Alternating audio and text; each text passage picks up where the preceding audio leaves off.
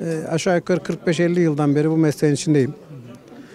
Çok değişik antikaları zaman içinde aldık sattık fakat şu anda antikacılık biraz e, tatsız dönemlerini yaşıyor.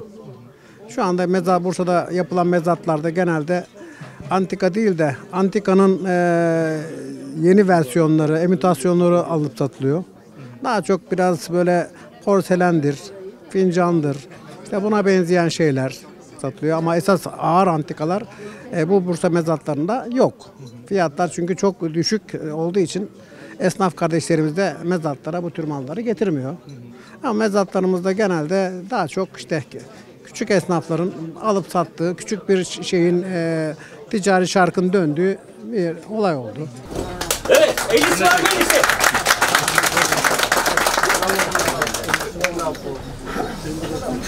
Var 50'si var. 100 lirası var. Kaç? 100 lirası var. 100 geldi. 150'si var mı? 120'si? 120'si? Var 100 ya. Nereden? 120 geldi. 140'ı? 140 geldi. 300 geldi. Hey, 320'si var mı yoksa satarım? Satarım. Sattım. Hayırlı olsun Hasan'ım. 500. 500 geldi. Yürfa. 500 geldi. Satarım. Satarım, satarım. Sattım. Olsun abi. 43 numara. Şimdi şöyle Antika camiası çok güzel bir camia. Ee, eskilerden beri bizim sevdiğimiz. Çünkü eskiler çok güzel. Eskiler çok güzeldi. Ee, biz bunları hayata geçirmek istiyoruz tekrar.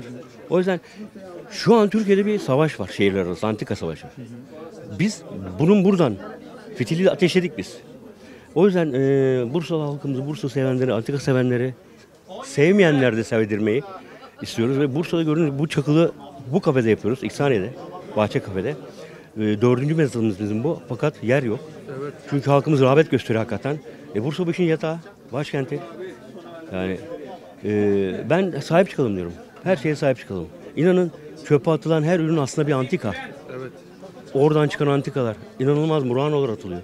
Sicilya Adası'nda çıkan Muranoları çöpe atıyorlar. Biz bunları hayata, dezenfekte edip tekrar hayata kavuşturuyoruz.